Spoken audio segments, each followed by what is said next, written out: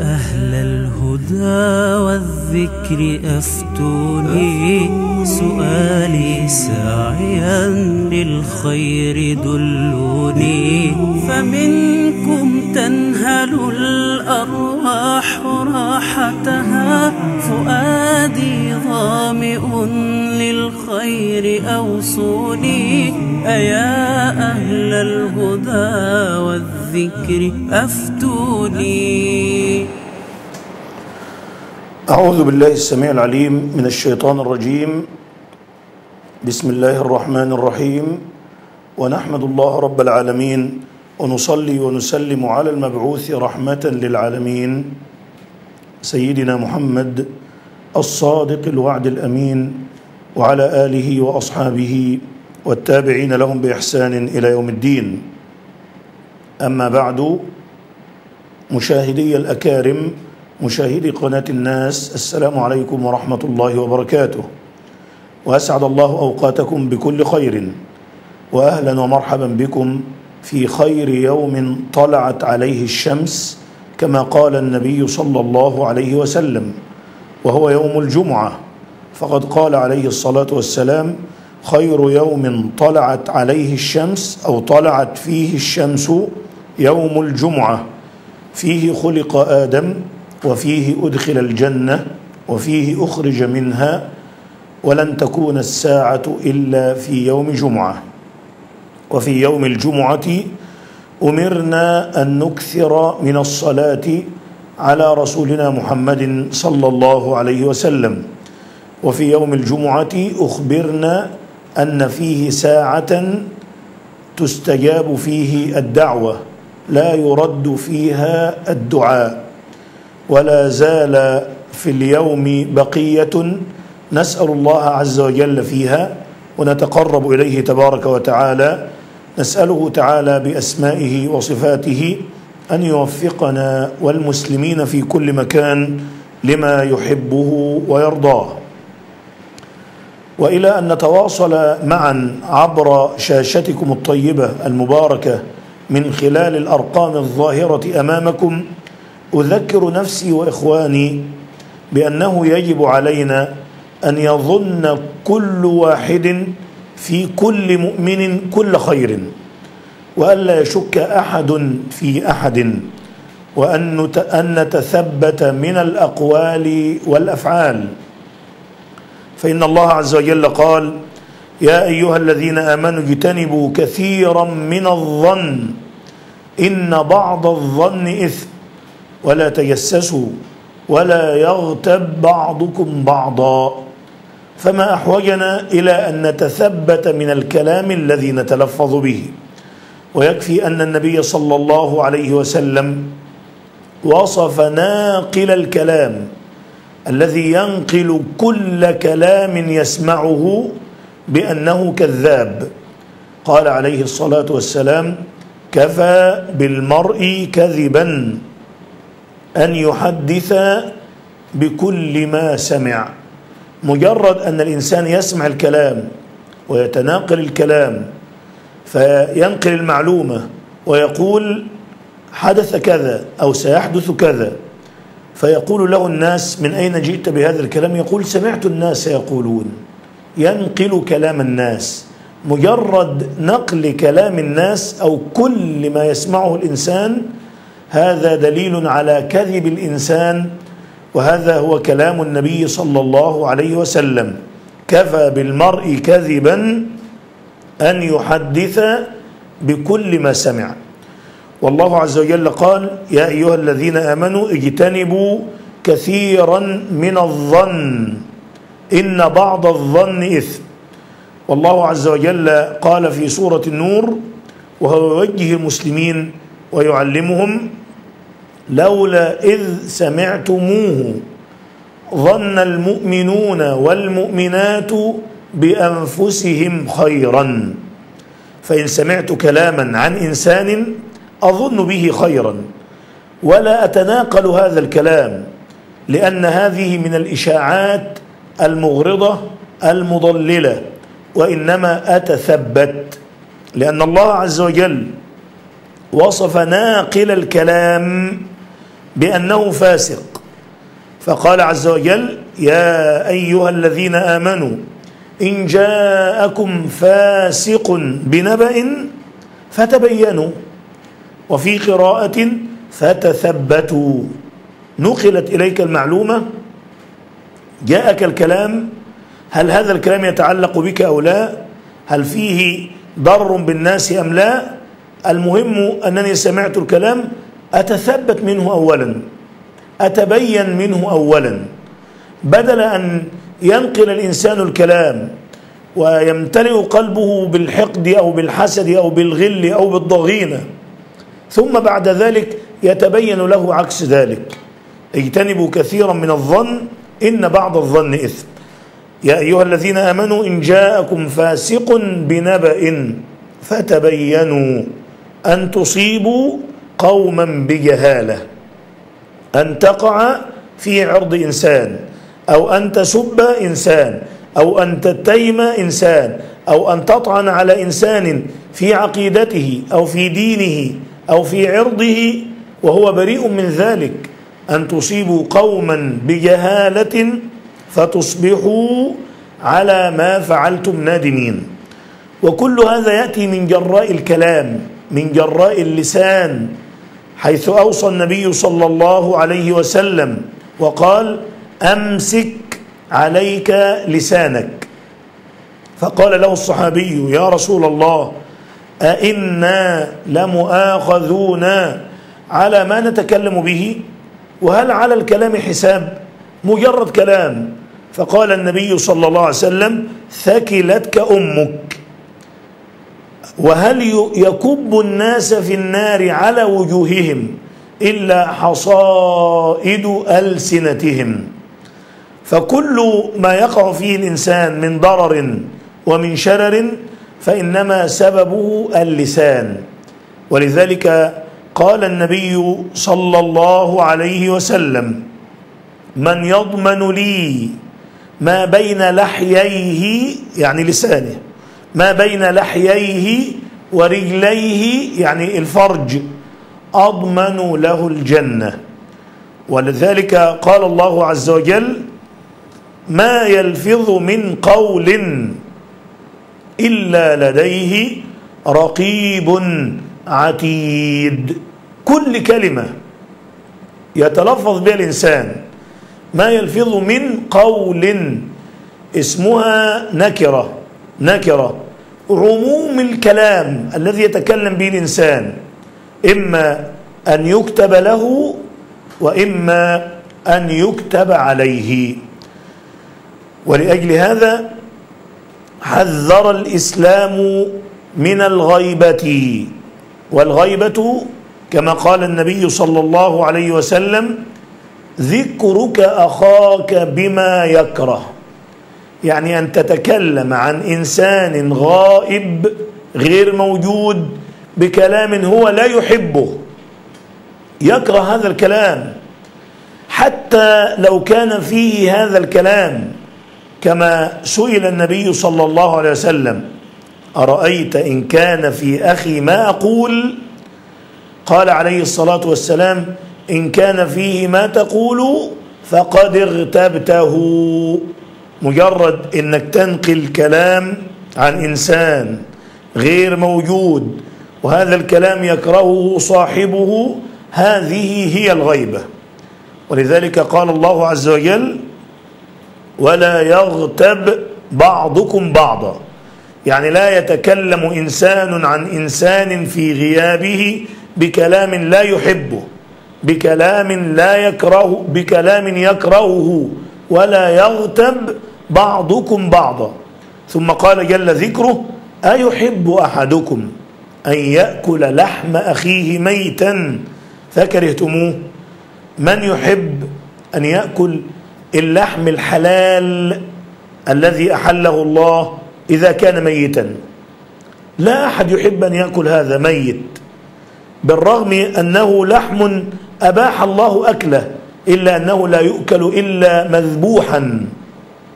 لكن الله عز وجل قال إن الذي يغتاب الناس كأنه يأكل لحومهم وهم أموات. أيحب أحدكم أن يأكل لحم أخيه ميتا فكرهتموه. ويشتد شر الغيبة إذا كانت في شأن أهل العلم أو أهل القرآن أو في شأن القادة والرؤساء والزعماء الذين واللهم الله عز وجل أمر البلاد والعباد. فلنتق الله عز وجل ولنمسك ألسنتنا عن الخوض في أعراض الناس. قال فلان يقولون كذا حدث كذا. هذا كله يكتب على الإنسان. ولذلك في حديث المفلس المفلس. طيب السلام عليكم ورحمة الله وبركاته. وعليكم السلام ورحمة الله وبركاته. مرحبا يا أخي اذن كريم حضرتك آه، هل التصوير بكاميرا الموبايل حرام أم حلال؟ الصوت غير واضح عندي. يا أخي الكريم. أيوه. آه. أيوه بعد إذن حضرتك. تفضل آه، هل التصوير بكاميرا الموبايل حرام أم حلال؟ أنا مش سامع السؤال كويس. إخواني الصوت مش واضح عندي. الله يبارك فيكم. طيب. فيجب علينا جميعا أن نحافظ على ألسنتنا وألا نتكلم إلا بما يرضي الله تبارك وتعالى وأن نعلم أننا مؤاخذون على ما نتكلم به. ولذلك المسلم يحذر من أن يكون كالمفلس الذي أخبر عنه النبي صلى الله عليه وسلم الذي ضيع لسانه كل أعماله. فإن المفلس يأتي بصيام وزكاة يعني يأتي بأعمال طيبة حصل منها حسنات لكنه أساء إلى الناس وتكلم عليهم فيأخذ هذا من حسناته وهذا من حسناته فإذا انتهت حسناته طرح عليه من سيئاتهم ثم طرح في النار. السلام عليكم ورحمة الله وبركاته. وعليكم السلام ورحمة الله وبركاته. ازيك يا شيخ؟ ربنا يحفظك ويبارك فيك. لا والله في سؤال بس سمحت تفضل أخي الكريم. في سيدة ابنها جاب لها كمية من الذهب نعم. فهي بتوصي إن لما تموت الذهب يرجع لابنها. هل ده يجوز ولا لا يجوز؟ ولها أولاد غيره. ولها أولاد غيره آه. طيب وهو أعطاها هذه أو هذا الذهب على سبيل الهدية. على سبيل الهدية. طيب جزاك الله خيرا وبارك الله فيك. أجيبك أخي الكريم أحسن الله إليك. عندنا أسئلة أخرى؟ طيب آه بالنسبة لهذا الأخ الكريم الذي أهدى أمه ذهبا جزاه الله خيرا وأحسن الله إليه. وهذا من البر بالوالدين. وإذا أراد الإنسان أن يوسع الله عز وجل عليه وأن يبارك في عمره فعليه أن يحسن إلى أمه وإلى أبيه وإلى أقاربه. فإن صلة الرحم يعني يبارك الله عز وجل بها في عمر الإنسان وفي حياة الإنسان. وأنت إذا أهديت أحدا هدية صارت ملكا له. الناس يقولون الهدية لا تباع ولا تهدى. هذا كلام غير صحيح. لأني بمجرد أنني أعطيتك هذه الهدية صارت ملكا لك. انتهى أمرها بالنسبة لمن أهداها. هنا في هذا السؤال آه، الأم تريد أن تعيد الهدية إلى ابنها بعد موتها. الأم تملكت هذه الهدية وصارت ملكا لها وهي أم لكل أبنائها. أو لكل ورثتها الذين سيرثونها بعد موتها. نسأل الله أن يبارك في الأعمار. فإذا ما توفيت هذه المرأة صار هذا الذهب للورثة كلهم. والوصايا المخالفة للشرع لا نعمل بها. يعني إذا وصى إنسان أن تحرم البنات من التركة هذه وصية لا يعمل بها هذه وصية محرمة. إذا أوصت امرأة كهذه المرأة بأن يعاد الذهب إلى ابنها لأنه أعطاه لها في حياتها هذه وصية لا يعمل بها. وإنما هذا الذهب أعطي لهذه المرأة فصار ملكا لها. حتى لو كان لها أبناء آخرين ليسوا أشقاء لهذا ال- الرجل الذي أهدى أمه فإن ما تركته المرأة بعد موتها يوزع على كل أبنائها ولنتق الله في هذا الأمر فإن هذه مشكلة معضلة وكثير من الأخوات يشتكين ظلم الإخوة وأكل الحقوق وأكل الميراث والدنيا ساعة فاجعلها طاعة والنفس طماعة فعلمها القناعة. ونحن راحلون من هذه الدنيا فلنتق الله عز وجل ولنعمل أعمالا نتقرب بها إلى الله عز وجل ولن نأخذ من دنيانا إلا ما قدره الله عز وجل لنا وما كتبه لنا والأرزاق مقدرة عند الله تبارك وتعالى. فأهيبوا بكل من عليه حقوق أن يؤديها لأصحابها وأهيبوا بكل مسلم يخاف الله عز وجل ويرجو اليوم الآخر أن يعدل في تقسيم الميراث وأن يعطي كل ذي حق حقه والله تعالى ولي التوفيق وهو الموفق لما يحبه ويرضاه الحديث عن الذهب وزكاة الذهب الحقيقة أن هذا كلام مما تكلم فيه أهل العلم كثيرا. زكاة الحلي ما تتحلى به المرأة ما تتزين به. اختلف أهل العلم في زكاة الحلي. هل المرأة اللي بتتزين بالذهب هذا عليه زكاة أم ليس عليه زكاة؟ جمهور العلماء على أنه إذا كان للحلي تتحلى به فلا زكاة عليه.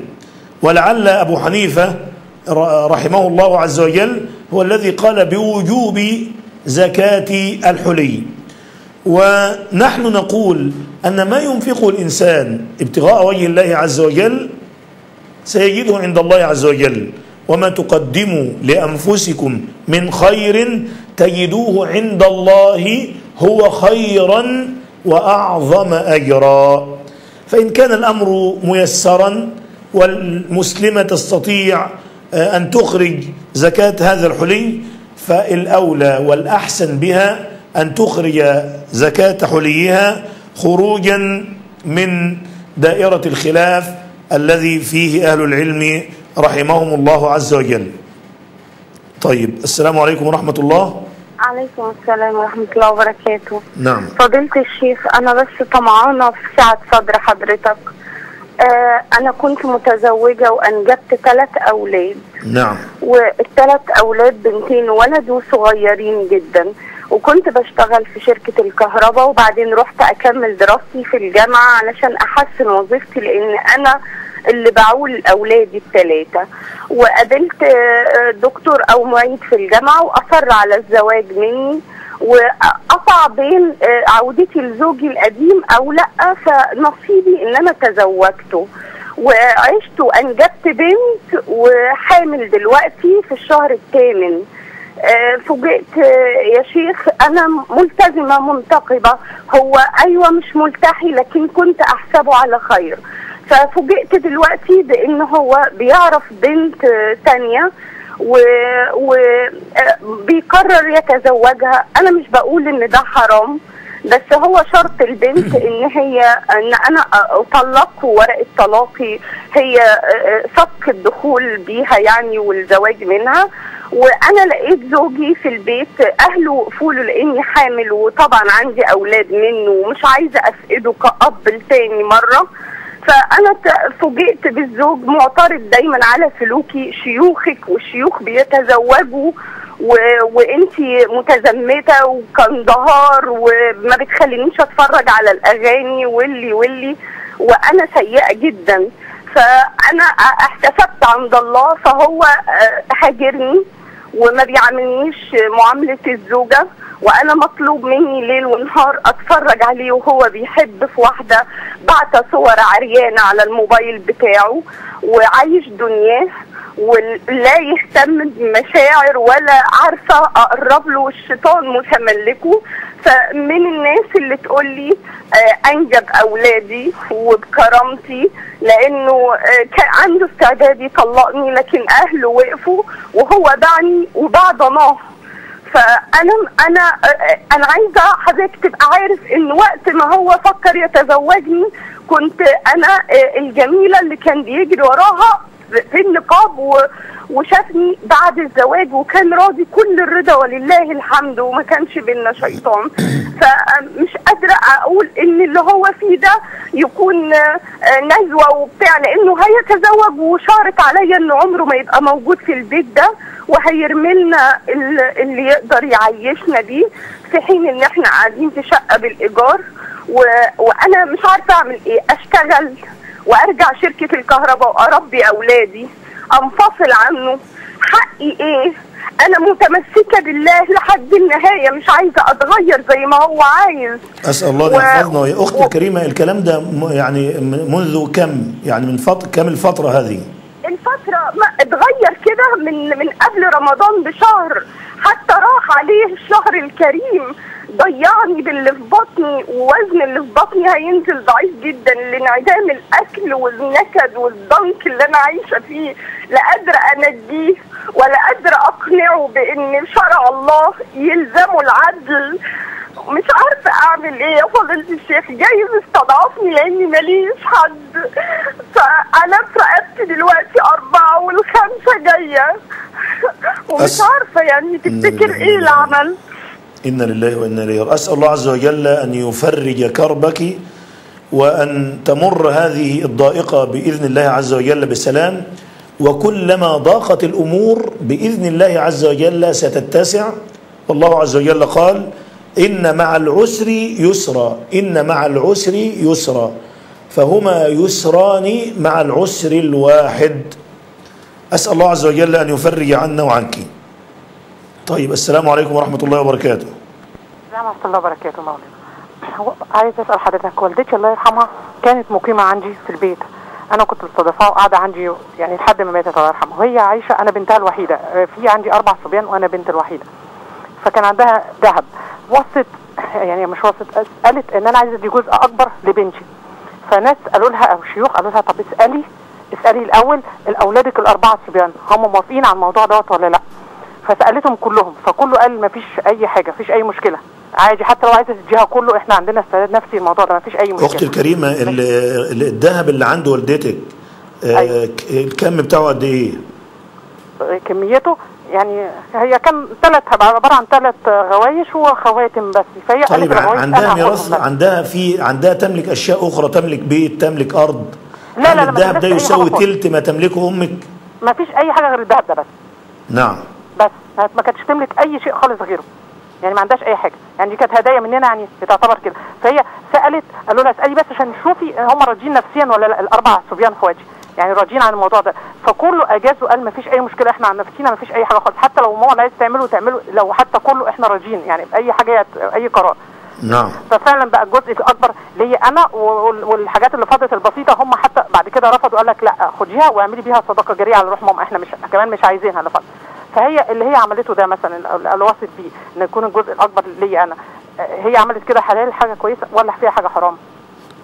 رحم الله أمك وغفر لنا ولها وللمسلمين. ان يجيبك أختي الكريمة حاضر. بارك الله فيك. الحقيقة إن المشاكل كلها السبب. اتصال؟ طيب تفضل السلام عليكم ورحمة الله وبركاته. السلام عليكم. وعليكم السلام ورحمة الله وبركاته. إيه، استاذنك يا فضيلة الشيخ. عاوزة أعرف بس عاوزة أعرف لو آه، هل من السنة إن أنا أقول بين السجدتين آه، اللهم اغفر لي ثلاث مرات؟ أنا عاوزة أعرف دي سنة ولا لأ. طيب حاضر. بين بين السجدتين؟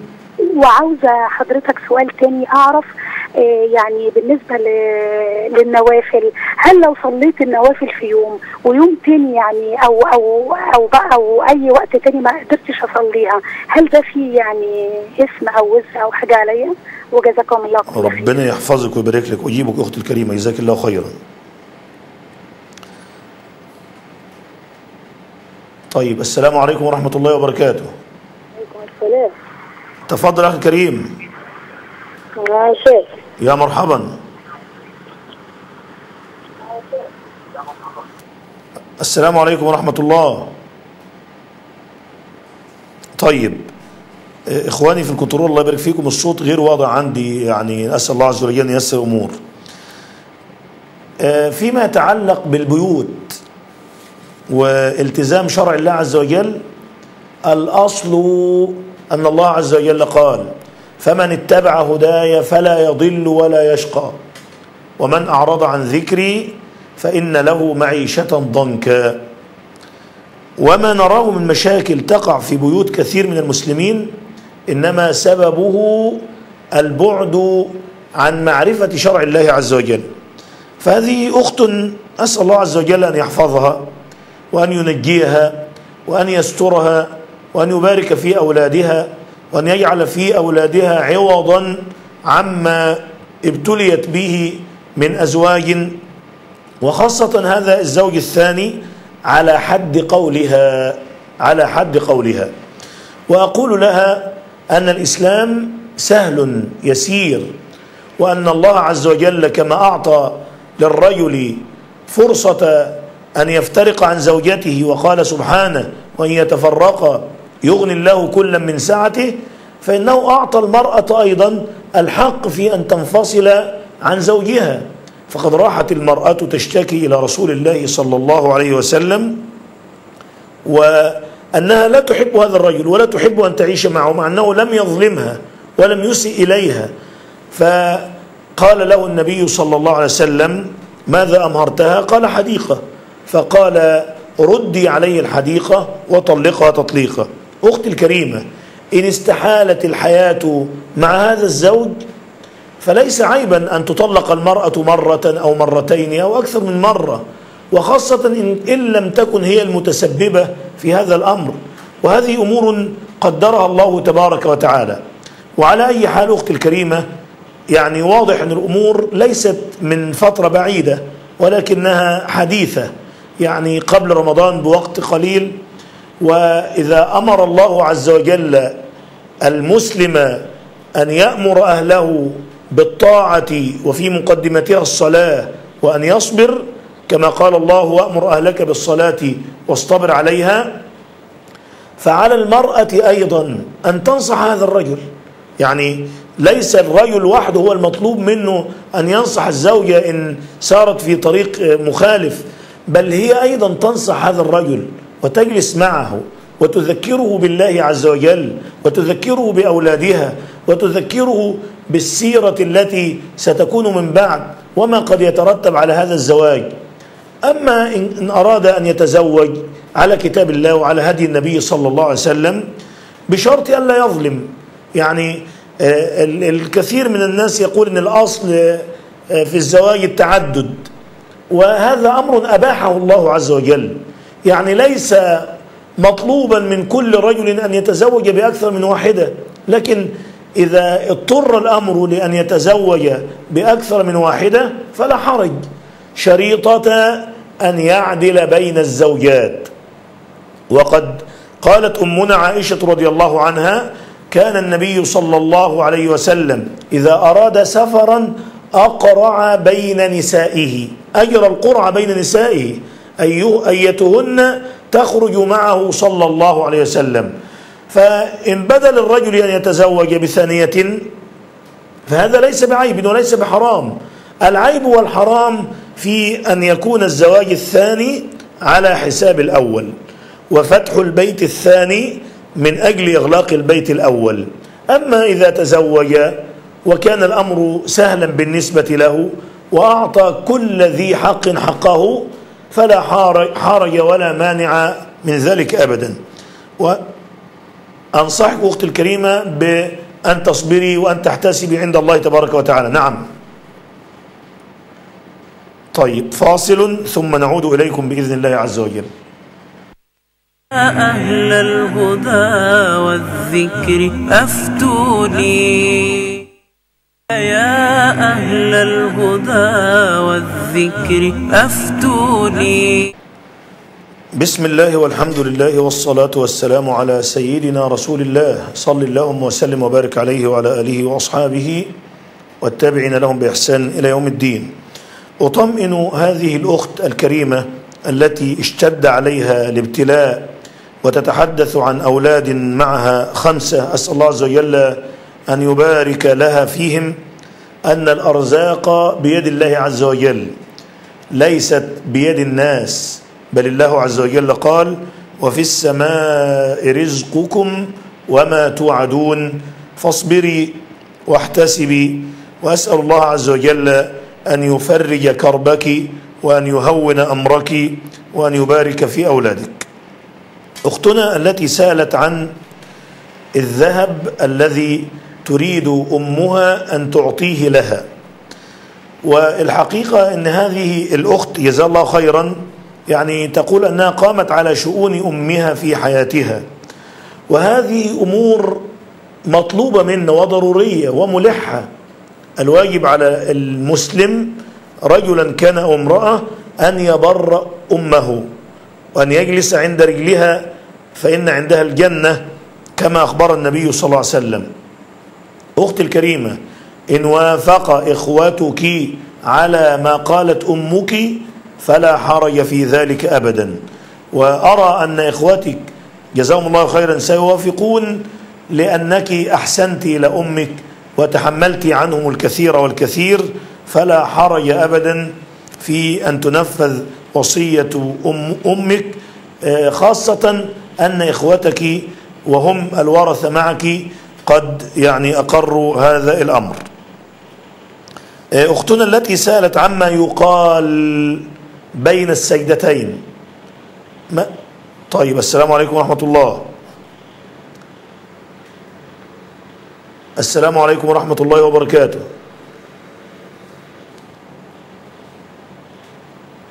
طيب ما يقال بين السجدتين؟ اللهم اغفر لي وارحمني وعافني واهدني وارزقني.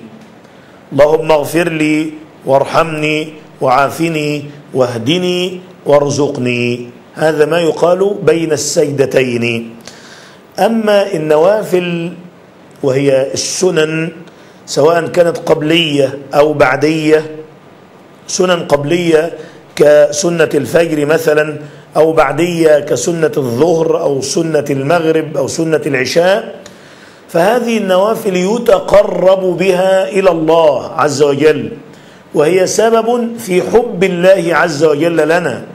قال الله تعالى في الحديث القدسي ولا يزال عبدي يتقرب إلي بالنوافل حتى أحبه. فإذا أحببته كنت سمعه الذي يسمع به وبصره الذي يبصر به ويده التي يبطش به وقدمه التي يسعى بها. فإذا حافظنا على النوافل كان هذا من الخير لنا بإذن الله تبارك وتعالى. وإذا لم يتيسر للإنسان يعني الإنسان يحافظ على النوافل يعني بانتظام لكنه يوما ما لم يعني يتمكن من أداء النوافل أو تكاسل عنها أو لم يكن الوقت يسعفه في ذلك فلا حرج عليه بإذن الله تبارك وتعالى. وإن كنا نود لنا جميعا ولإخواننا أن نحافظ على النوافل التي بينها لنا رسولنا صلى الله عليه وسلم. أقول للمسلمين أجمعين طيب السلام عليكم ورحمة الله. وعليكم السلام ورحمة الله وبركاته. شيخ أحمد؟ تفضل أخي الكريم. ألو؟ أسمعك تفضل. آه بعد إذن حضرتك أنا عندي شقة آه المفروض إن أنا هشطبها والشقة دي آه في مكتب تشطيبات. عامل تعاقد مع بنك فيصل الإسلامي. آه آه كل اللي هيعمله إن هم هيشطبوا لي بالقسط. آه أنا هبقى تعاقدي زي مرابحه مع بنك فيصل الإسلامي والبنك هو هيشتري الحاجة بفلوسه ويوكل ال- الشركة دي اللي هي بتشطب في إنها تشطب لي الشقه وتعملها. وبتديله فلوسه على دفعات يعني على دفعتين أو ثلاثة وأنا بدفع مقدمة وبعد كده بدفع أقساط سنوية لمدة سنتين أو ثلاث سنين فعايز أشوف آه، هل الموضوع دوت آه، آه، يعني في شبهة ربا ولا موضوع الكريم إن أنت شاء الله؟ تملك هذه خيراً. طيب واضح أن الأخ انقطع اتصاله لكن سأجيبه بإذن الله تبارك وتعالى السلام عليكم ورحمة الله وبركاته. وعليكم السلام ورحمة الله وبركاته. تفضل يا أخي. لو سمحت يا مولانا أنا عندي مشكلة بسيطة كده. كنت مريت بظروف خطوبة قبل كده يعني مرة والثانيه والحمد لله متيسر الحال وظروفي كويسة. نعم. يعني اللي بيحصل لي ده خير ولا مش خير؟ يعني وكذا مرة اتقدمت وما يحصلش نصيب كده. لن يكون في هذا الكون إلا ما قدره الله. والله عز وجل قال وعسى أن تكرهوا شيئا وهو خير لكم. وفي شأن الزواج والطلاق قال سبحانه وعسى أن تكرهوا شيئا ويجعل الله فيه خيرا كثيرا. سأفصل لك أخي الكريم بإذن الله تبارك وتعالى. الخطبة إخواني وعد بالزواج. لا يترتب عليها أي حق من الحقوق. يعني رجل كل ما له في شأن ال- الخطبة أن ينظر إلى مخطوبته. وأن يرى منها ما يدعوه إلى خطبتها. رآها إن كانت منتقبة وتقدم لزواجها من حقها أن ترفع النقاب وأن يراها.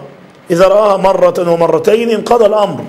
ليس له عندهم أي شيء. لا تخرج معه ولا تتكلم معه ولا تتصل عليه ولا تتصل به. كل هذه من مداخل الشياطين. والمتابع للبيوت يجد أن هناك مصائب. تأتي من وراء ومن جراء مخالفة شرع الله عز وجل.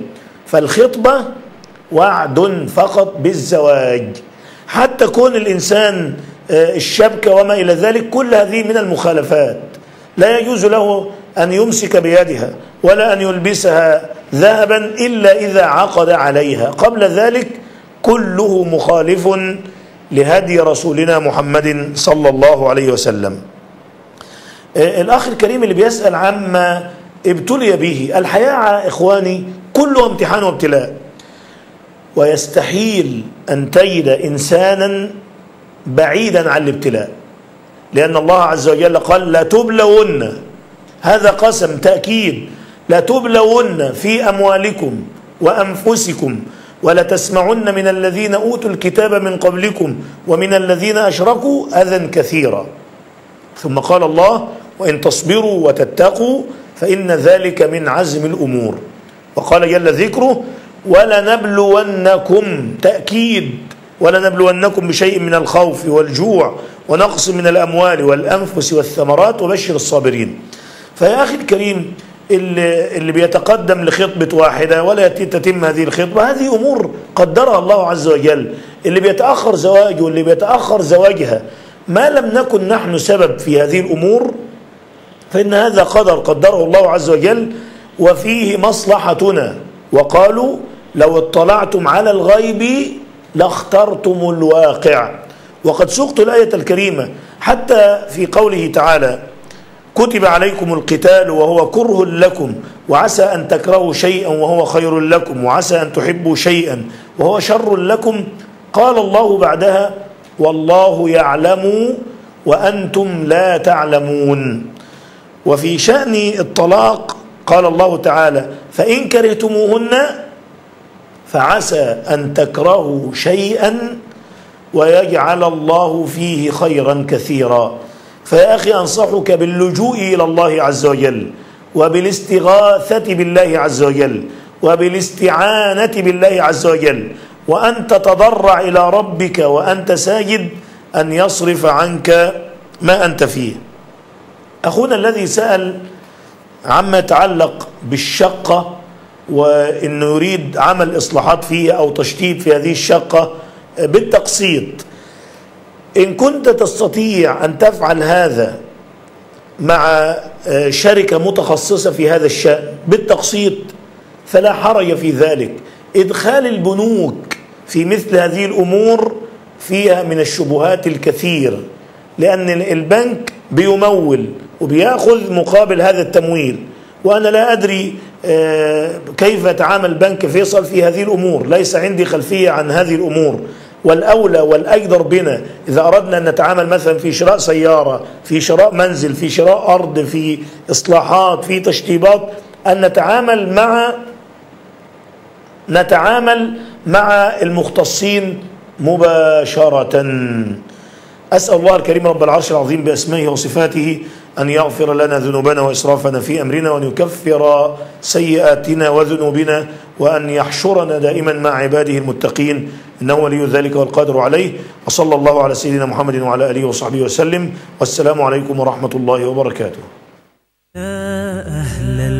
الهدى والذكر أفتوني سؤالي ساعيا للخير دلوني فمنكم تنهل الأرواح راحتها فؤادي ظامئ للخير أوصوني أيا أهل الهدى والذكر أفتوني